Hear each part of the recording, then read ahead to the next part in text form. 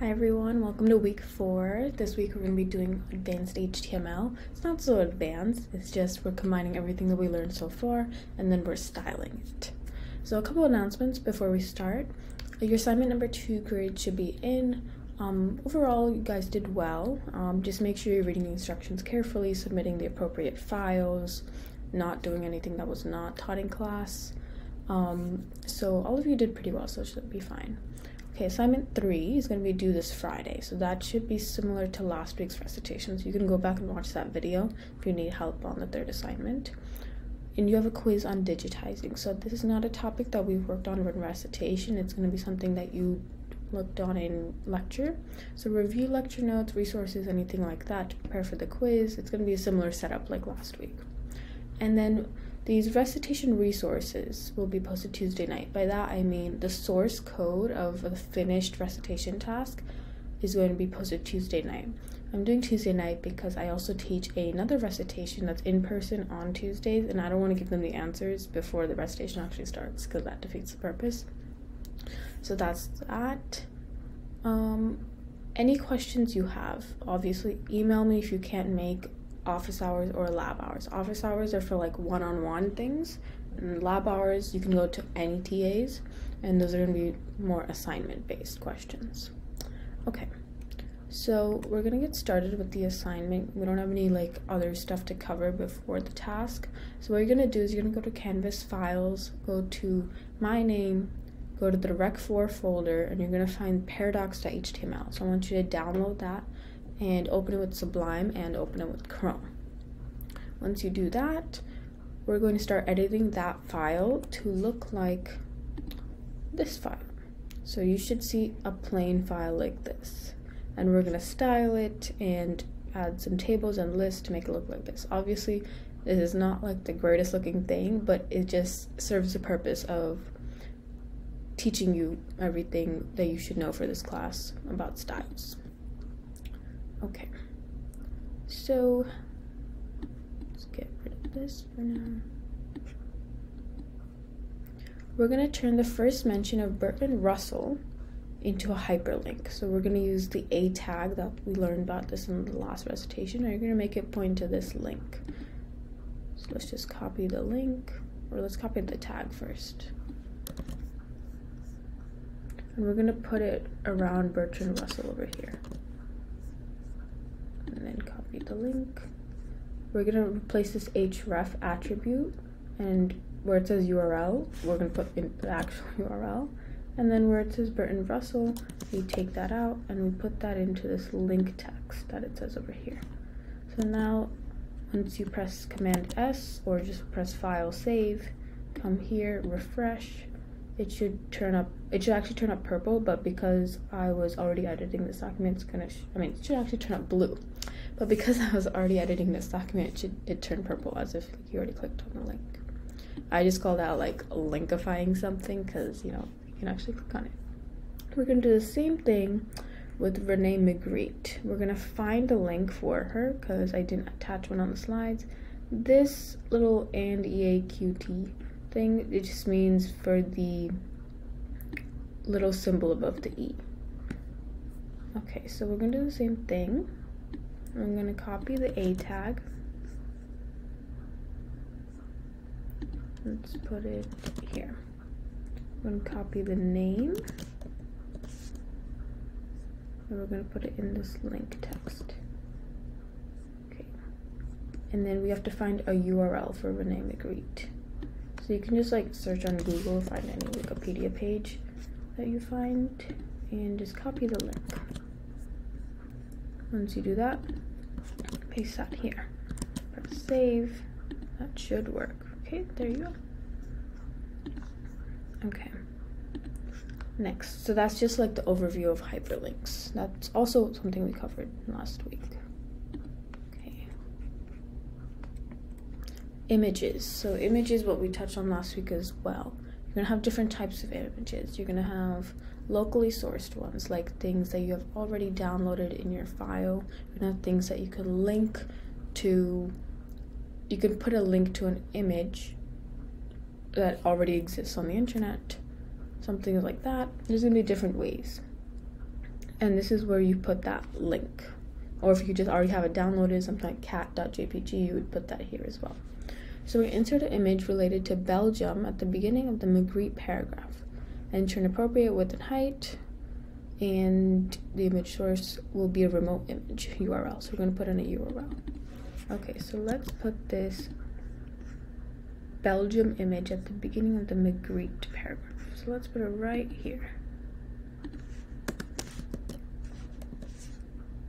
And so Belgium. Actually, I think I already have a link.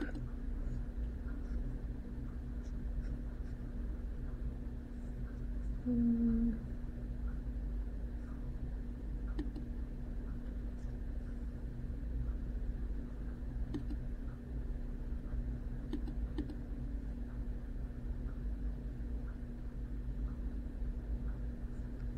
Oh, right here. Okay. So I'm just gonna copy paste this link, put that here. The width, you can put whatever width and height you want. I have these already preset to 120 and to 80 as the height. And this alt stands for alternate names. So in case the image link doesn't work, maybe they delete it off the internet. If that happens, then this name is gonna pop up. So let's save this, refresh. It'll be a little image. Obviously, it looks ugly because we didn't have any padding. We're not styling anything of that yet. Okay.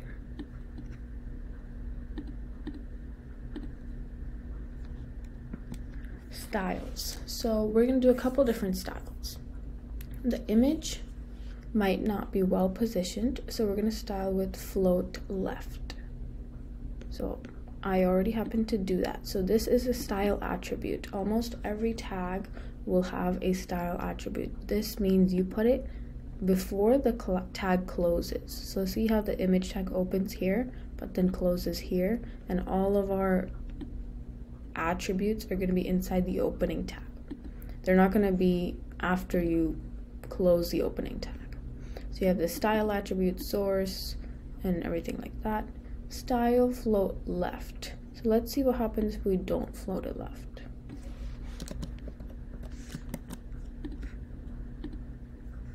Everything gets pushed to the bottom. So this is just trying to save space. Obviously, even though it does save space, it doesn't really look that good. So you'd add padding and things like that. But that's not something we're going to work on today. Okay.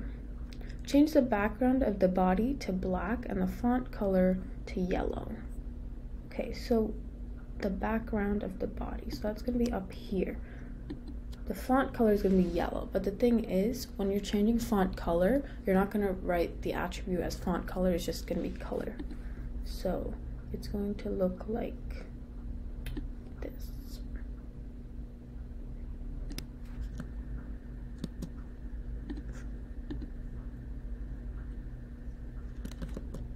Style background color black and then you put a semicolon color yellow. So that part just stands for the font. You press save and it should be yellow. Okay. Now change the text color of the body to lime by adding code in the head tag. So now we're going to change this yellow to lime but we're not going to put change this word to lime. Or let's put it in this head tag. So head tag opens there, closes there. So we're gonna put it like this. I'm just copy pasting because that makes my life easier by not wasting time typing it out. Okay, so I have a style tag. Actually, let's add the style tag after the tag. So this style tag is inside the head. It's a nested tag and now this is this style tag whatever attribute you have it can style that tag. So let's say you want to style something else like another type of tag then you could also put it in here. Obviously it makes it more confusing because it's better to just style the tag wherever the tag exists. But let's say now you want to do line. Press save. Cancel. Refresh. Nothing happens. There is a problem and i'm going to pause so you guys can think of what is a problem. Why won't this color change to lime? take a minute to think about that.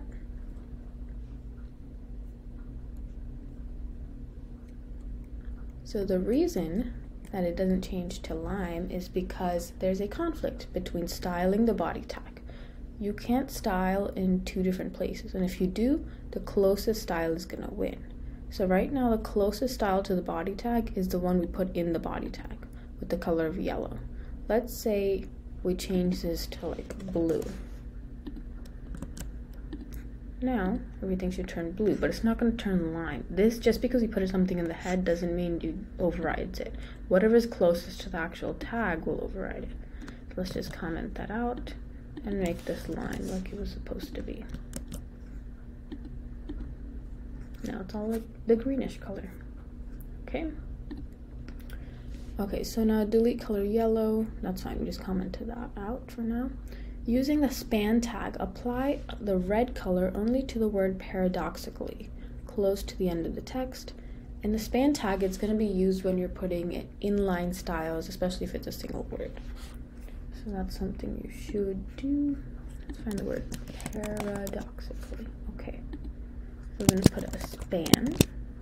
And let's close the span put the word in the middle and we're going to style it what color red. Okay. I'm just going to copy this. The style attribute the color and red. Press save. So paradoxically right now it's green. Refresh it should be red. Okay. Next. Lists. So this lists and tables and borders are what we're gonna do next. They should also be kind of review.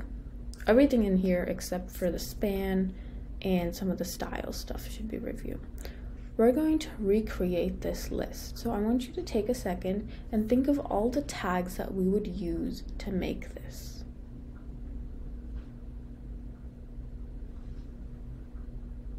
Okay, so if we have bullet points, is it ordered or unordered? It's gonna be unordered because it has no order, there's no numbers to it. So you're gonna have a UL list with a nested list under intermission.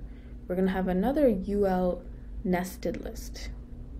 And then we're going to have a title for that. So let's go down to this list.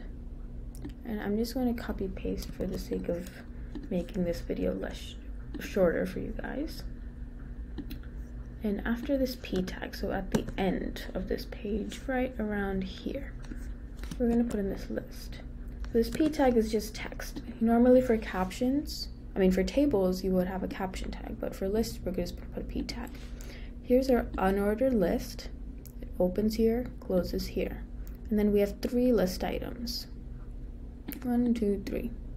Inside this intermission, we have a nested unordered list with two list items. Now, notice we also have this I tag. The I tag stands for italics. You might have used this in your last assignment. So you can just put the italics tag inside this list tag. These are also nested here. But notice how the actual years are not italicized, only the words are. It's like details you should pay attention to, especially when you're trying to copy from the sample for assignments. You know, is something really italicized, something not. So a couple people, a couple things people did was for the sources at the bottom of the assignment, they made that into an anchor tag instead of just italicizing it. So I had to take off points for that because that was not part of the assignment because that was something we learned in the recitation afterwards. So it's important to do the assignment during that week of recitation so you don't get confused of what other tags you can also use. Okay, so let's press save and refresh and it should show up. Let's make sure everything looks similar so far to what we did. Okay, so other than these other colors, we have it similar. Okay. Table. So we're gonna make a table with these descriptions border of one, this caption, two headers, and two cells of data. Okay, so let's just do this right under the list.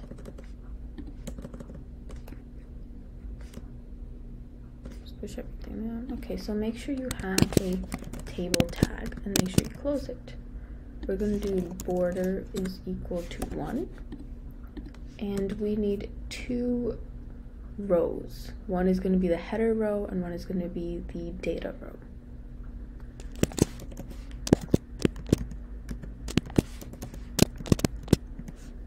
Okay, and in each row, we're going to put two tags.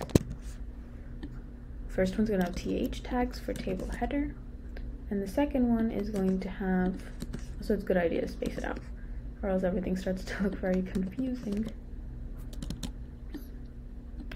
Second one's gonna have just TR tags because they're not going to be bolded. Some people on the assignment, they bolded all of their tags. So, or they bolded their TH tag So there's no reason to bold any type of header tag. The point of a header tag is that it's going to be a bigger size or bolded, things like that.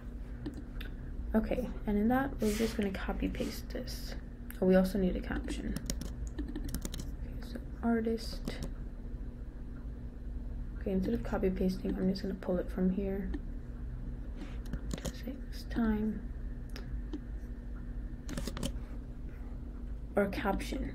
Remember, it's a caption, not a p tag. Some people get that mixed up. And we just put in all the content for this thing. So let's press save, refresh. Here's a little table. So notice how it's already bolded because it's a th tag. You don't have to bold it manually with like a B tag or anything. Okay. And the last thing we're gonna do is we're going to use box model concepts for these borders. So notice how when I showed like the final representation of the recitation task, recitation task, some of them had borders. So what we're going to do is apply a red border to the Russell's paradox H2 heading and a yellow border to the Magritte paradox H2 heading and we're going to make them both 5px. So remember, these are border attributes that are going to be in a style tag inside the opening tag. Okay, so Russell's paradox and Magritte's paradox. Russell's paradox is up here. So let's just quickly find that. Where'd it go? There it is. Okay so I'm just to copy this so it's easier. A style border of 5px and solid red.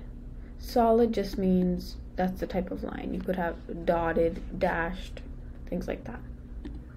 We're going to press save and you should have a solid border. Let's say we did like dotted. It'll be dotted. You can also have dashed not dashed, dashed. Okay, I got dashed.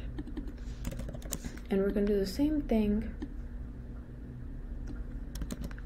for the Magritte paradox. I think they wanted a different color. Yes, they wanted yellow, solid yellow. Okay, save. Now we have a yellow border. Okay, and that should be it for this task. It's just a review of everything we learned from so far, including borders and more stylings. And this link, you could refer to this link if you want to learn more about like CSS box models. Um, but it's up to you. Okay, so everything should be good. I'm going to be posting these slides and this HTML document, the completed one. I'll post the completed one around Tuesday night, and I'll post these slides right now. And the attendance code word is going to be hand sanitizer because I see a hand sanitizer. Okay, um, we'll have a good week. Let me know if you have any questions. Bye.